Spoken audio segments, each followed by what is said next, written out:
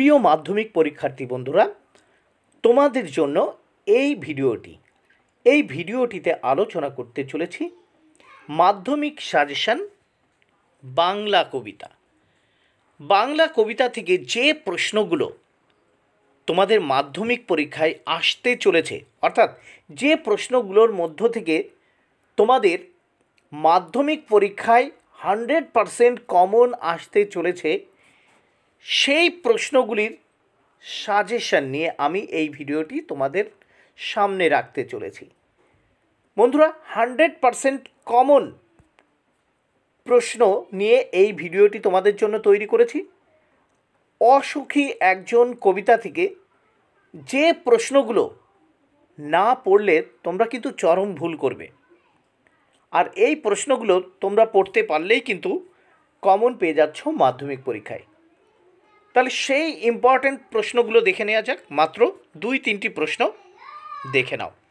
তারপর যুদ্ধ এলো পাঠ্য কবিতায়। কবি যুদ্ধের যে আশ্চর্য করুণ ও মর্মস্পর্শী ছবি এঁকেছেন, তা নিজের ভাষায় লেখো। দুই নম্বর প্রশ্ন, শিশু আর বাড়িরা খুন হলো, সেই মেয়েটির মৃত্যু হলো না। মেয়েটি কে? তার মৃত্যু না হওয়ার কারণ কি? কি কারণে শিশু ও বাড়িরা খুন হলো। বন্ধুরা, এই প্রশ্নটা কিন্তু very very important very very important তিন নম্বর প্রশ্ন, আর সেই মেয়েটি আমার অপেক্ষায়। অপেক্ষমান এই নারীর মধ্য দিয়ে কবি মানবীয় ভালোবাসার যে রূপটিকে ফুটিয়ে তুলেছেন, তা পাঠ্য কবিতা অবলম্বনে আলোচনা করো। এটিও কিন্তু অত্যন্ত গুরুত্বপূর্ণ প্রশ্ন।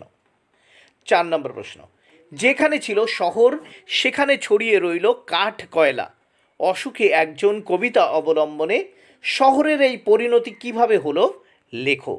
এই প্রশ্নটিও কিন্তু ফোর স্টার কোশ্চেন বন্ধুরা ভেরি ভেরি ইম্পর্ট্যান্ট কোশ্চেন এখানে চারটি কোশ্চেন দেওয়া হয়েছে।